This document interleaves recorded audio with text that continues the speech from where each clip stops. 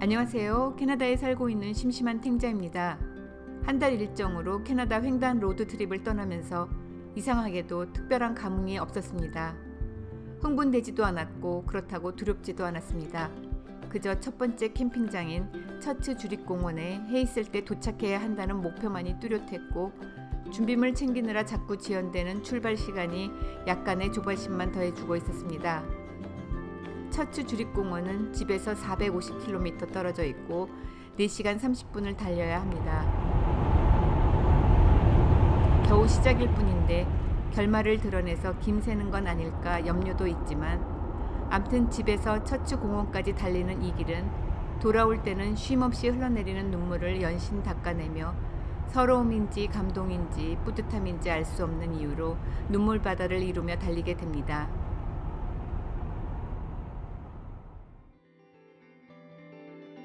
그저 담담하게 출발했다고 느끼는 의식과는 달리 제가 평소와는 분명 다른 감정 상태였던 것으로 의심되는 몇 가지 사건들이 캠핑장에서 있었습니다. 제가 예약한 사이트가 조금 특이한 형태더군요. 원래는 차와 텐트와 피크닉 테이블이 주어진 사이트의 한 공간에 위치하게 되는데 이번엔 좀 달랐습니다. 길 위에 주차를 하고 경사를 내려가야 널찍한 공간과 테이블이 놓여져 있었습니다. 아무래도 차와 테이블이 같이 붙어 있어야 취사도 편하고 또 전 텐트 없이 차박을 해야 하는데 주차 위치가 사람들이 오가는 길가에 놓여진 것도 신경이 쓰여서 차를 경사 아래로 몰아 테이블 옆에 세워야겠다고 생각했습니다. 경사로로 진입할 위치를 제대로 보려고 차에서 잠깐 내리려는데 세상에 20년간 운전을 했지만 한 번도 저지르지 않은 이상한 짓을 했습니다. 도어를 열고 내리려고 차 밖으로 발을 내미는데 갑자기 차가 움직여서 깜짝 놀랐습니다. 기어를 파킹으로 바꾸지 않고 드라이브인 상태에서 그냥 차에서 내리려 했던 것입니다. 다행히 평지라서 차가 서서히 움직여서 급하게 다시 운전석에 앉아 브레이크를 밟았습니다. 벌렁이는 가슴을 진정시키고 기어를 파킹으로 잘 맞추고 경사면의 진입 위치를 확인한 후 살살 차를 몰아 경사로로 들어서려는데 갑자기 의문이 들더군요.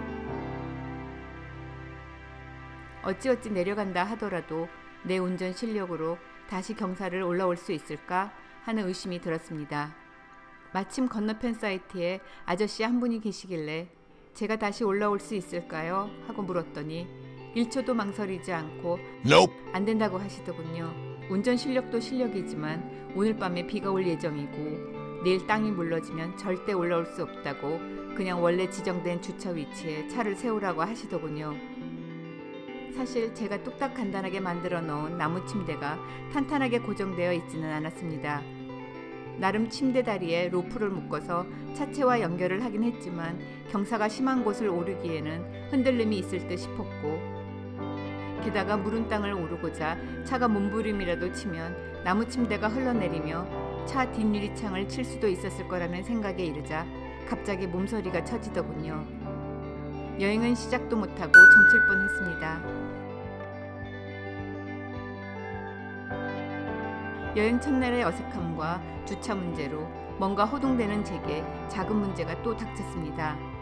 간단하게 라면으로 저녁을 먹으려고 아이스박스를 차에서 내리는데 물이 조금씩 흐르고 아이스박스가 놓여있던 조수석 의자가 젖어 있었습니다.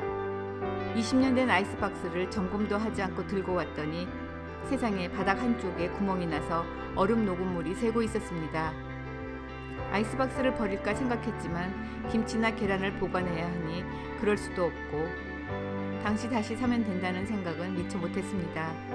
한 달간 여행이 이어지다 보면 차박을 위해 개조한 부분에 문제가 생길 수도 있어서 보수를 위해서 몇 가지 자재와 도구를 챙겨왔는데 마침 접착력 강한 테이프가 있었습니다. 물 새는 곳에 테이프를 여러 겹으로 붙여서 아쉬운 대로 해결을 보고 챙겨온 커다란 쓰레기 봉지에 아이스박스를 통째로 담아 이중으로 봉쇄를 했습니다.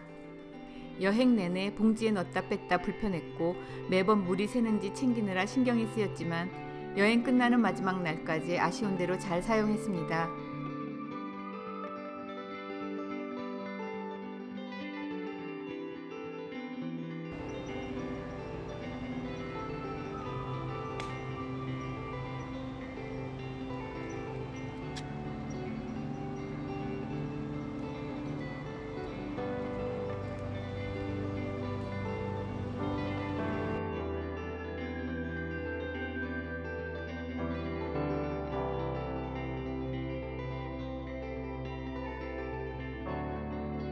얼른 샤워를 하고 쉬어야겠다 싶어서 목욕용품들을 챙겨 들고 지도를 보면서 샤워장을 찾아 나섰습니다.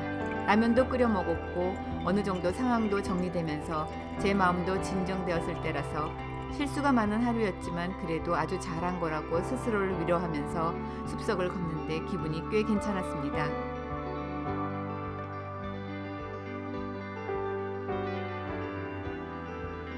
제 자리가 좀 외진 쪽에 있어서 중앙에 있는 샤워장까지는 좀 거리가 있었습니다.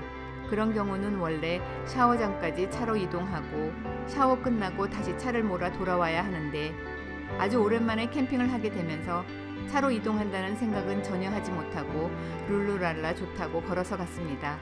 근데 막상 걷다 보니 아까 체크인했던 입구까지 가서 다시 방향을 틀어 샤워장 쪽으로 가야 하는데 입구까지 가는 것만 해도 꽤 먼 거리라는 생각이 들어서 도저히 그렇게 멀리까지 걷지 못하겠다는 생각이 들었고 들고 있던 지도를 보며 샤워장으로 나 있는 지름길을 찾았습니다. 숲을 속으로 사람들이 걸으며 생긴 작은 길이지만 돌아올 때 다시 찾는 건 어렵지 않아 보였습니다. 근데 웬걸 샤워를 시원하게 마치고 나오는데 해가 이미 지고 어둠이 내리니까 지름길은 두말할 것도 없고 큰 길도 분간이 안 되더군요. 같은 길을 돌고 또 돌아도 지름길은 당연 찾을 수가 없었고 큰 길로 걸어 돌아간다는 건 더더욱 상상할 수도 없었습니다. 왜냐하면 입구부터 제 사이트까지 난 길은 정말 숲속에 불빛도 하나 없는 깜깜한 비포장 도로라서 차로 헤드라이트 켜고 달려도 조심해야 할 판에 제대로 된 손전등 하나 들지 않고 왔던 제가 걸어서 그 길을 간다는 건 진짜 귀신에 홀리거나 동물들에게 당하거나 아니면 혼자 겁에 질려 심장이 먹기에 딱 좋은 곳이었습니다. 어떻게 해서든 지름길을 찾아가야 한다는 일념하에 주변을 둘러보니 어느 가족이 모닥불을 피우고 둘러앉아 캠핑장의 밤 분위기를 즐기고 있었습니다. 장난감 같은 작은 불빛 하나에 의지하며 삐죽삐죽 흔들리며 걸어오는 제 모습에 그분들이 놀라지 않으시길 바라며 신뢰를 무릅쓰고 다가갔습니다. 지도상에 제 사이트를 가리키며 혹시 여기로 갈 수 있는 지름길 아세요? 하고 물었습니다. 지름길은 알지도 못할 뿐더러 혹시 찾는다 해도 이 어둠 속에서 걸어갈 수 없을 거라 하시면서 아저씨가 자기 차로 태워다 줄까 물어보십니다. 정말 미처 생각지도 못하고 있었는데 어떻게 그렇게 순발력 있게 망설임도 없이 답이 튀어나오는지 네 하고 마치 기다렸다는 듯이 놀랍도록 우렁찬 답부터 터져 나왔고 숲속 캠핑장에서 밤의 낭만을 즐기시던 그분들의 분위기를 깬 죄송함은 그제서야 뒤늦게 따라왔습니다. 죄송합니다. 그리고 정말 감사합니다. 하고 여러 번 인사를 드렸습니다. 아저씨도 토론토 근처에 사시는데 이 캠핑장은 처음은 아니라고 하셨습니다. 겨울에 한 번 자기도 뻔한 길에서 밤이 찾아드니 갑자기 위치 분간이 안 되고 이제 죽는구나 하는 경험을 한 적이 있어서 제 심정이 100번 이해된다 하셨습니다. 아저씨는 멀리 슈페리어 호수에서 여름 휴가를 즐기다 이제 돌아가는 길이라면서 겨우 시작일 뿐인데 천지분간 못하며 허둥대는 제게 용기를 주시며 남은 여행 잘 마치기를 바란다고 응원하며 제 사이트까지 안전하게 데려다 주셨습니다.